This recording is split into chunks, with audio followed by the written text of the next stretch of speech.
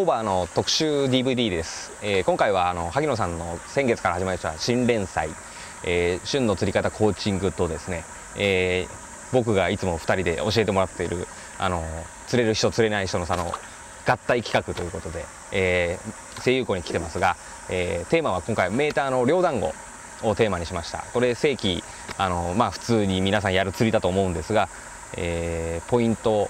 それからあの動くけど釣れないみたいなこういうことが起きると思うので、えーその辺萩野さんに今日は教えていただこうと思っています。よろしくお願いします。じゃあ萩野さんすいません。えっ、と今1時間ほどあの釣りをとりあえず、やって、えーフリーでやりました。でまあざっと萩野さんが10枚ちょっと釣ってる間に僕は3枚ぐらい今そんな超過で早くもまあ差は当然のようについてるんですが。そうだよね、えーとまあ、今日の状況の前に一つ、う両団子のこの正規の釣りの萩野さんが気をつけるポイント的なものはどういうことがありますか、やっぱりねあのしっかりとした食い当たりを出すっていうの？やっぱり同じ当たるんでもなんていうんですか？もう深く入っててドンってやっぱり強い当たりを出して何回もそういう当たりが出て釣れ続くようなことをやっぱり自分は食い当たり決め当たりっていうような当たりが、まあできれば毎回出るようなそうそうそう。それが乗るか乗らないかはまたまた別として。後して、うん。毎回当たりがちゃんと出せるっていうんですね。で一番あの難しいなと思う、まあ、前回も当たりの数でね、うん。あのやっぱり超過のっていうのがあったんですけどその当たりを出すための、うん。まあ、餌だったりセッティングだったりこうあると思うんですが、うん。その辺で、えー、と両団子この釣りの場合どどこの辺からこうその当たりを出していくっていう探り方をすればいいんでしょうか？そうだね。やっぱり今矢口君のなんか見ててもやっぱりねこう餌は持ってるんだけど芯ができてるかっていうところの問題だと思うんだよね。その当たりの数がこう違うっていうのは。例えば俺なんう浮きなんかは釣れる釣れないにしろ毎回こう強い当たりがどっかで出てるわけじゃん、はい矢口君のは持ってても強い当たりが毎回出るかっていうとまた毎回出ないんだよね、うん、そうですね。あのそれはちょっと僕自分も釣りしてて、うん。えーまあ、上、まあ、結構触ったりとかして入るんですよね、でちょっと触ったりはしてますね、で餌さえ持ってればここで当たると僕も思うんですけど、で一応形上浮きはうん持ってるような。持ってるような感じにはなってるよね。その芯っていう。そうだね。なんか俺はその辺が足んないのかなと思って見てた、はいやっぱりね寝るっていう作業がやっぱり怖いのかわかんないけどあんまり小出しにしてやってるっていうのを見ててはいはい。やっぱり自分なんかこう団子の釣りに関してはこうやっぱり一つ小出しにするっていうのもなんていうのかな。ある程度決まった餌ならいいとは思うんだけど、はいはい。こういじってってこう芯を作ってやっと当たりが出るっていうのがやっぱり両団子の釣りだと思うんだよね。はいはい、だからこう一番こう難しいとは思うんだけどこう計量カップで何倍で水これ入れたからってできるっていううん。釣りじゃないのがこの釣り一番この釣りだと思うんだよね。ーセットとか底釣りの餌っていうのはある程度こうカップでこう水入れて、まあ、今までの企画なんかでもそうだけど、えあのだある程度の同じような餌とかある程度の同じことっていうのはできたとは思うんだけどこの両団子の釣りに関してはそれが一番こうえファジーで難しいところだと思うんだよまあね。変な話ですけどこのボールの中でうん決めろとそうだね。決めるというか、そのいい餌を作っていくしかないってことですね浮きの動きとやっぱりその、自分の手の感じとこうみ合わせてやっていくっていうのが大事なんじゃないかなと思う。よくあのその団子の芯芯っていううん。ありますよね、これ練ればいいってもんでもない。練ったらいい。そうだね。あとはやっぱり練り今いろいろ例えばこうやってもともとこうてんあの粘る餌とか、はい。あと粘力とかもあってすごい実際は粘ってるんだけどつけてみると持たないと思うんですよ。作っただけだったら。それをやっぱりある程度練ってって粘りはあるんだけど芯もちゃんとあるっていう風な方向にしていかないとこの釣りっていうのはなかなか難しいのかなと自分なんかは思うんだよね。ましてやこう聖子さんなんか魚が濃くて上から下まで逆に言ったらちょっと甘いの打ったら背びれ出るような感じになると思うんだけど、そこを通過して当たらせるっていうのはやっぱり結構な芯持ちしないと当たりはもらえないのかなと自分なんかは思うんだけど、うん僕のイメージですけどこう、うん。練っていくじゃないですか、うん。で、まあ、柔らかくしていけばそんなことはないんでしょうけど、うん。こなんですかねすごい練っていくと、うん。こういう時はうん。もうボンボン弾かれるんじゃないかみたいな、イメージがあるんですけど。いや逆に弾かれるまでいっちゃった方がいい俺はいいと思うんだよね。弾かれちゃって深く例えばさあの深深なじみするようになって浮きが沈没するぐらいになるまでまずはやっていかないといけないんだと俺は思うんだよね。今のなんかもこう餌の前に来てこうなんていうの当たり返しまではいかないけどこう口に含んでこうやってるような動きが結構取れましたよね。えっ、と1時間まあ今ちょっとあのお互い自由な感じで打ったんですがえっ、とまあは今回は、えー萩野さんの餌とまず同じものを作ってみて、えーいじっていくところでどういう差が出るか。で萩野さんの今日今やっててもらった餌をちょっと同じように作ってみたいと思いますんで一緒にやらせてもらいます。はい。じゃあまずですね点々を 400cc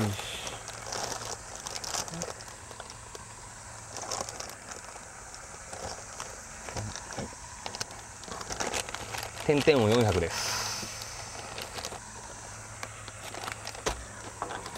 で朝棚も400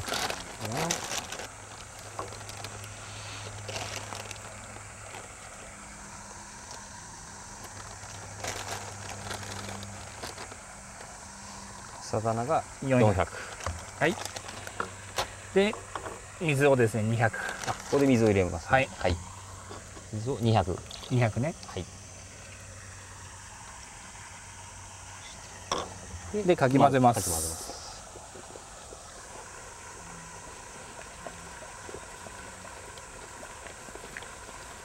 この時はうん。あのただ混ぜるだけでいいですか？そうだねあのちょっとこうなんあのーかき混ぜながらこう粘りが出てくるじゃないですか、はい水になじんで、はい。自然に混ぜてる感じでの粘りで、うん、これをそうだ2 3 0回ははい。練ってそれでうん。OK です、それでこれにマッハをね 100cc 100ですね。はい。マッハを100ですこれはざーっとかけて。であとはもうざーっと軽くかきまして全体的に混ざったらもう終わりと。ちょっとこう粉っぽいのが残っててもいいぐらいの感じ。あーはいはもうこれで OK いでもうひこの一塊うんのまま使うような。これをこの中でいじる時はうん。こう分けたりしながらいったりするんですか？俺はねさっきも言ったけど団子の時はもうほとんど全部一緒にいじっちゃうっていうもうちょっと柔らかくする時は全部柔らかくしちゃって、それでもうぜこの中でどんどんどんどんそうだね。いい方いい方を探していくっていう、うん。でどう？ね知的に？うんそそうなのかな？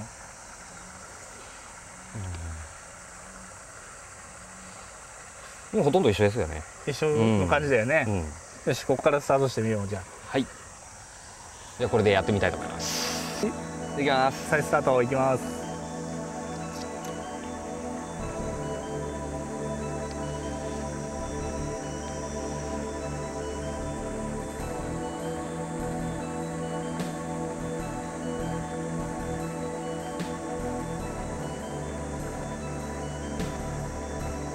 まあ矢口君こうわーっとつったけど、はい。今のさこう再スタートみから見て自分で何か思わなかった？今。すいません今馴染まなかったです。で俺のはもううまあ4プチは馴染んでる感じだよね。それってさすごい差なのよ実際的に言ったら、はい同じあれすいませんあの作ったやつはそのままですよね。そうそのままだよ。ということは付け方が悪いってことそうですね。だね付け方を。逆に言ったらさなんていうの？魚今スタートし始まっあのちょっと休憩して始まって魚がほとんどいない状況なわけじゃん。それで餌が持たないっていうのは多分魚がいっぱい寄ってきた時にはどうにもなんないよね多分ね。そうですね。もう処方中の処方うのん。いいとこで、だからそう思ったらやっぱりそこで全体的にやっぱいじっていかないと。もう根本的に持たないわけじゃん。自分の付け方に対して餌が、はいはい。ってことはだってなんていうのこう押しねじしながらこう10回でもいいからこう練っていくこと。を最初からもう、うん、まあ、自分のつけ方で普通にやって持たないんであれば、うん、もうその餌ちょっと全部少し持つようにしろと。うん、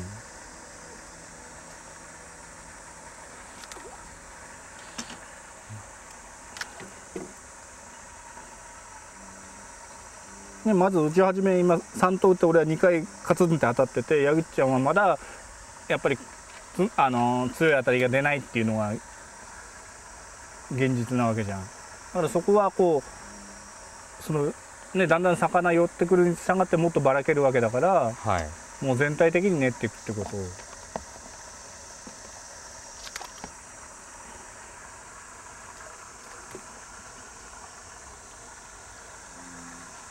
あんまり練らない練らないようにっていうような、うんなんかイメージもあるじゃないですか、あんまり餌をあの練りすぎると。粘りすぎると空ツンになる、るとかって、でも逆やっぱり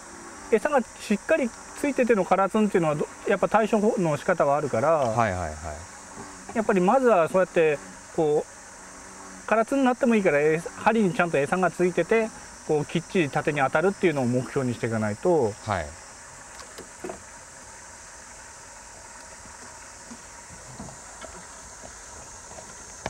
そうだね今の状態だったらその浮きが沈没するぐらいのこうついてるように持っていかないとまず。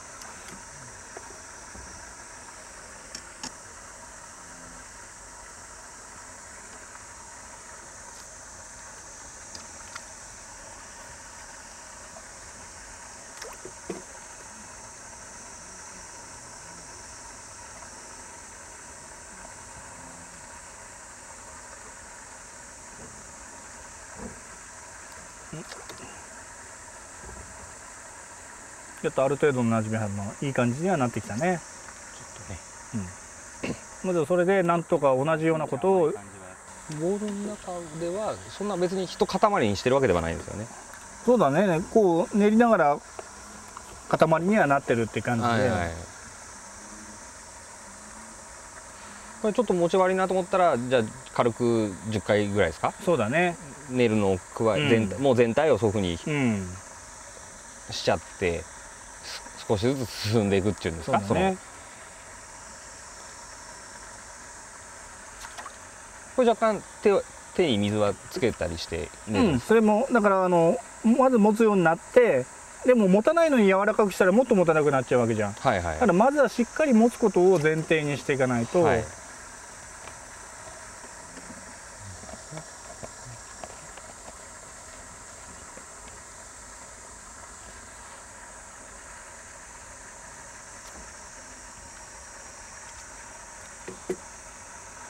その練ってまあちょうんっと柔らかくしたりとかしておきますよね。通常団子の餌で、うん。これをまあよくあのま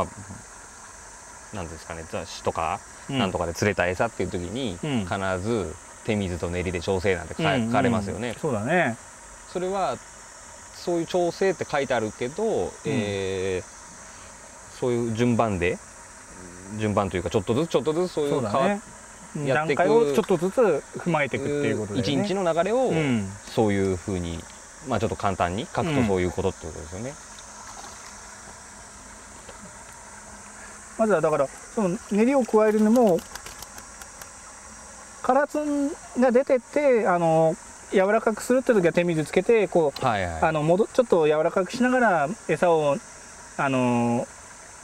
ちょっと軽くあのほまあほぐすような感じで練るっていうのが普通普通だと思うんだけど、はい。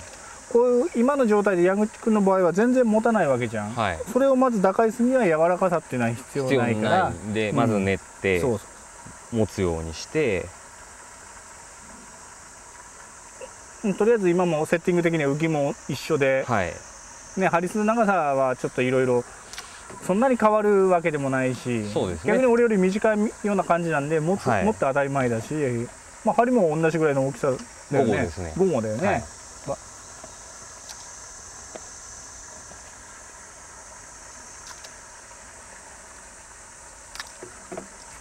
お当たった当たった。そうそうそうそう。やっぱり今みたいにちゃんと餌あるとなると当たりももらえるっていうことですよね。で魚が増えるじゃないですか、しうん。次第に。それに伴って少しずつまた練っていくわけじゃないですか。そうだね。絶えずそう練って徐々に徐々に練っていくっていうのが続いてるっていうことだよね。ね。まずはね。そうそういう動き出ても全然気にしちゃダメなんだよ。それは悪いことじゃないんだからね。今みたいにこうボディで止められるってことは。あダメダメ。それは合わしちゃダメ。ーもう餌がないけど、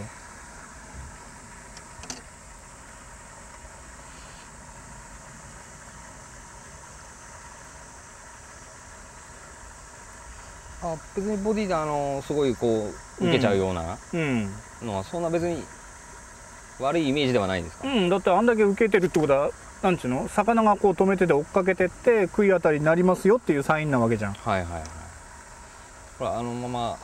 ピューっていっちゃうこととかがお多いイメージがあるから。あそれはだからなんちゅうの？さっきヤグちゃんのやつは結局止めじゃないんだよね。結局はこうなんちゅうの？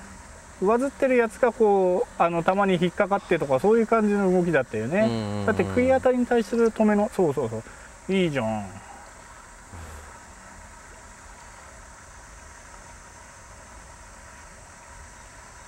バッチリバッチリ。今のなんかでもさっきと同じあたりでしょ？そうですね。今はもうあのなんですか？立ったところで一回ちょっと落ち込みのところでガンとちょっとあったんですけどそれはほっといて、うん。深く入ったところでガンっていくはい。っていう感じで、今のなんかさ結構強く受けたじゃん。はいはい。それで触りながら入ってったでしょ、はいはい。それで深く馴染んでって今当たって釣れたわけじゃん、はい。動き的には理想的なんだよ。は逆に言ったらなんであの途中で突っかえるかってことは芯ができてそんだけ止められるような原因があるわけじゃん。ばらけてるものを入れてくっていうとなかなか止めって出にくいんだけど。ああなるほど。そういうああそっかそっかしっかりしたものシーンがあるってことで、そうそう。よくさ団子ってただツンって当たったら釣れない。昔からこうなんていうのこうあの止め触りそれで当たりってよく言うじゃないですか、はいはいで結局やっぱりそれが出ないとやっぱり両団子の釣りっていうのは今も昔も釣れないっていうことなんだと思うんだよね。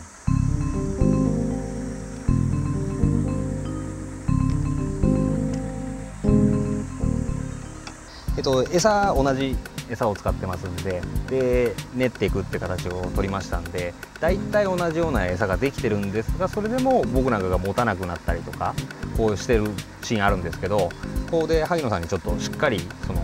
つけてるっていうところをちょっと見せてもらいたいと思いますんでお願いします。はい。でまず自分なんですけどもこう大体2つ分の餌の大きさを取って丸めますよねこう。で針を下から刺してこう血元を一回ギュッと押さえるんですよ。結構力入れて。そしてあとはこう丸めると。ギュッてやって丸めると。こんな感じでやって。例えばあと打ち始めの時はただこうギュッてしたやつでちょっとラフっぽくなってても構わないかなと。こんな感じ、あとは結構粘りの強い餌なんかを結構持ちすぎだなと思ってる時なんかは例えばこう軽く表面だけこう回したぐらいでもう抑えないような時もありますそれはこう浮きの動きとあの持ち方を見ながらその辺をこう組み合わせてやってる感じ。こうまあ動作的にちょっと速いんでなかなかこう映像でも分かりづらいとは思うんですけどもその辺をこうあとはまあ大きさもちょっとまあ一回りこれより大きいちょっとちっちゃいとかっていう感じのをうん出し入れしつつのこう当たりの出し方を、ね極端にあの、まあ、この釣りの場合めちゃめちゃ大きいとかっうんていうのできないじゃないですか、うん。どうしても。だからある程度皆さん同じぐらいにはなると思うんですよ、うん。その中で、まあ、魚の量と。そうだね。あとは落とし込みのやり方、はいはい。例えば打ち始めの時なんかは浮き立つよりもちょっとまあ3 0センチぐらい大きいぐらいとかやってまあ魚がある程度寄ってきたら浮きの真下にこう餌が来るようにするとかはいはい。あとはちょっともっと寄りすぎだなと思ったら餌をちょっと手前にして浮きを置きにこう置くようにしてあげるってこともやるから、そういうことの組み合わせてこう上釣りっていうか魚をが上に上がりたいのを抑えながらの釣りをこうやってってんだよね。あとはこう濡れタオルでこう拭きながらこうやるやってこう綺麗にまとめる人もいるんですけど僕そうです俺はねそれが嫌いな方なのよどっちかっていうと。手こう餌毛羽立ってても粘ってこう負がついててもいいから自分はつけなつけるんだけどなんでかっていうとこうタオルでこうやるとこう表面だけやっぱ柔らかくなるうん。って、ばらけちゃうんだよやっぱり。ああそうか。いや。そのばらけなんていうのボソっぽさを出せる感じで、うんうんうんちょっと玉の絵とかこうこういう付け方やるとちょっと汚れちゃったりはするんだけど、はいはいはい今日はあの萩野さんの浮きを借りて同じようなセッティングでやったんですが一応あのメーター団子正規の釣りでのセッティングの、今日のセッティングとあと注意点なんかをちょっと教えていただけますかね。そうですね。あのー自分は竿はね島野さんの飛天球の風神っていう竿の発尺。この竿はやっぱり浅い棚向きの竿となんですけれどもこう先先が半向くになっててこうまあセットから団子まで両方使いやすいような竿になってますそれで道糸なんですけども島野さんのアクアダイン主元の0.85でハリスが同じく島野さんのアクアダイン主元の0.45針がですねオーナーのバラサの今5号を使ってます。で打ち始めがあのー長い方で3 0センチで短い方で20なあ23センチで7センチ段差でやってました。でそれで今はそれを両方とも5センチ詰めた状況でやってます。で浮きなんですけども一種のトップウォーター貝の今自分は4番使ってます。で矢口くんが同じく4番使って今5番を使ってるっていう状況ですね。ハリスの長さはうんだいたい目安としては何センチぐらいから入ってとかあるんですか？そうですね。自分なんかはだから長い方で3 0センチぐらいから入ってってみてそれで様子見て動きが少ないようだったらやっぱ長い方の方向にして、はいあのやっぱり餌を持たせるのが大変だとかはいはい。やっぱりこう突き上げられるとか、うんそういうことが多くなればなるほどこうやっぱみまずは短くしていく。はい。あとはそ浮きをワンサイズ大きくするとか。うんうん。そういうふうななんかこう対応の変化。まましてやよくいつも言ってる池ばっかりじゃないとは思うんですけれども、はいはい。大体そのぐらいの基準でやってますね。うんうんうん今ね浮きの話も出たんで僕は5番で今萩野さんはい4番なんですけど、えっと、これボディのサイズ的に目安としてはどんぐらい？自分の今使ってるのですと今6センチ羽で。はい。で矢口くんのが7センチ。なんでまあ5センチから7センチぐらいの朝、うんうん。あればこういう朝棚の単管のメーターの団子だったら大体間に合うとは思うんですけれども。あとその餌持ちに関して言うと針の大きさとか形とか重さとかあると思うんですけど自分なんかはこうやらず系統の感じであの使うことが多いんでやっぱりバラサを使う軽めでこう懐が深いんで、はいはい、そういうあの餌持たしやすく、うんうんうんなおかつ軽めの針ってことでうんうん、バラサ使うことが多いですよね。今日5号ですけどまあ5とか6とか使そううだ、大体このぐらいの水深だったら5号か6号かっていうのが自分の標準的な大きさかな。わかりました。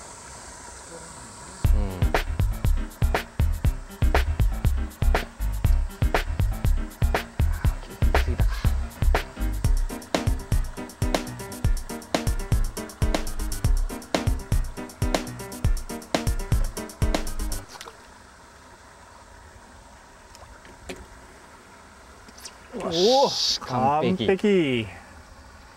やーあれ嘘。大いいヘ丈夫ラかな？お。大あ大丈夫そうだな。お元気そうなヘラだ。よし。いやーおかげさんでいいヘラ釣れました。いやー今日の今日はねもう矢口くんはもう一皮も二皮も向けたような感じだと思うよ。えー今日あのー萩野さんに、えー教えてもらったことはですねあのー餌の持たせ方というか、まあ、釣りのこの釣りの基本なんだと思うんですけど、えー餌の配合だとかハリスの長さ云々の前にやるべきことみたいなのをちょっと教わりながらやったんですが、えーそれを意識するだけでかなり超過出ました。こう午後特に。そうだね。浮きの動きなんか見てても俺の動きなんかと遜色がないからね。ですね。じあとはそれをずっと持続できるかできないかだから、っていうのが多分今萩野さんに言われたのがポあの釣れる人とうん、の差というかね、あの大きいポイントだと思います。あとは細かいところでは餌打ちの回数とか、餌の打ち方とかあるんでしょうかねやっね餌の落とし方付け方その辺の細かいところはあるけどね。ぱまあ一番差が出るなと思うのはペースかなと思ったんですけど同じような当たりのもし、えー出方がしてるんであれば、うん。餌を打ってる回数が単純に多い方がそれだけ釣れるわけですからここばっかりは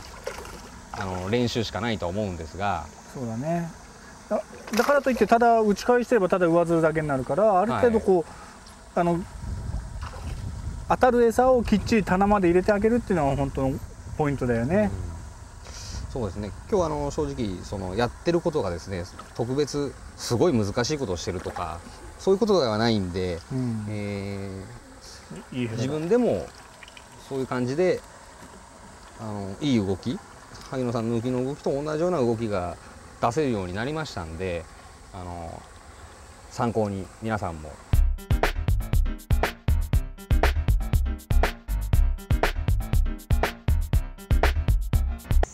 今日あの使った団子餌なんですけど点々と朝棚とでマッハというこの配合だったんですが、はい、えーこの配合の実際の特徴というかどういうところが挙げられますかね？そうですね。あの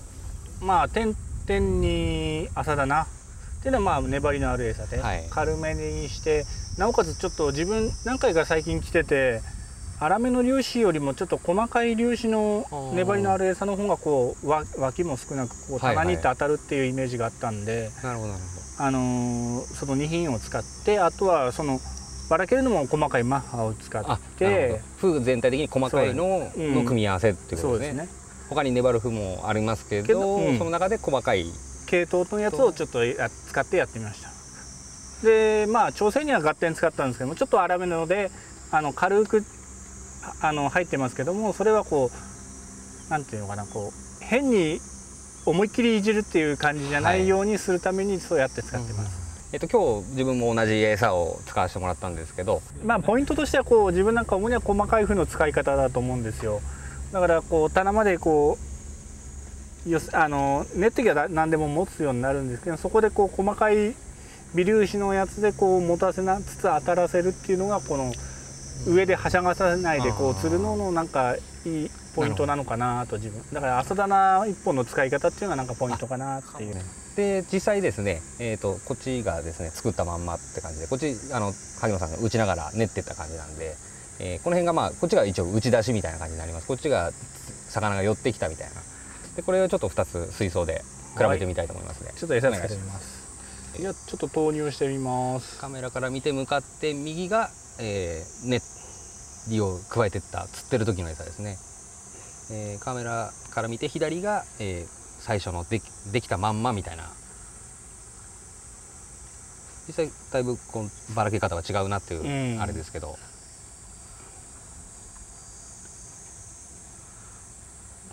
どうでしょうかねハリーさんこのイメージとしては。やっぱこのじわじわこう来るのが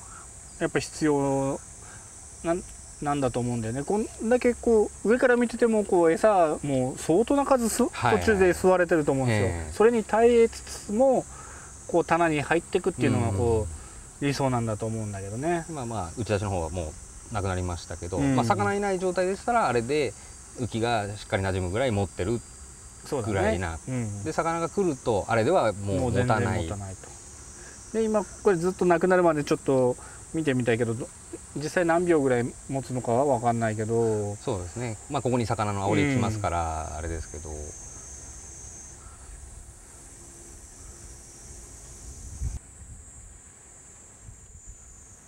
実際煽られてこうやって例えばちょっと揺らしちゃってもいいのかな、はいはい。こうやって煽られてもこうやっぱ芯がこう残ってる、うん実際深なじみしてる時なんていうのはこのぐらいの状況でこうツンって当たるんだあツンっていうかもうバッて当たるんだと思うんだけど、はいはい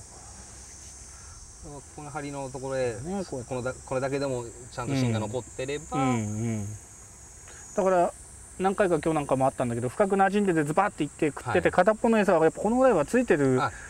で上がってくる時もあったじゃないですか、でもやっぱそのぐらい持ってないと、あのずっとした持続した当たりが出ないっていうことだよね。ねこうやって煽ってやっと落ちるぐらいのうんはいはい。あとはちょっと付け方の違いでちょっと同じような餌でもどのぐらい違うのかやってみようか。ふわっとつけたのと、はい。あとしっかりつけたのとかそっちをしちょっとしっかり気味,、にして同じ餌でもふわっと周りを丸めただけと。今度はあのもう釣ってううん。釣れてる時の餌なんですが、えーでこう餌付け方でどのぐらい違うのかと。ということでカメラ、えー向かって右こっち側ですね、うん。えーがしっかりつけたうん。で萩野さん側がややふわっと。ふわっとつけた餌自体はねもうしっかりしてる餌なもんだかんですかららある程度はこう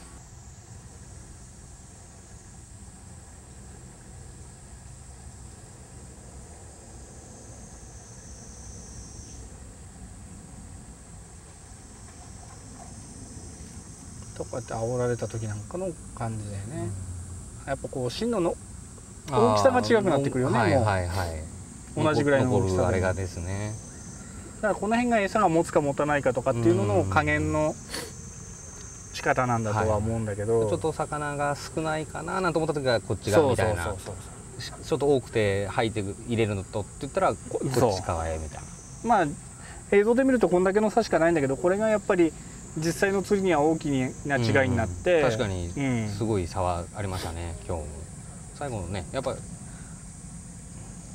といってもねこっちはこれだけまだ残ってます残ってるからっていうのがやっぱ重要要なんだと思うんだけど、こ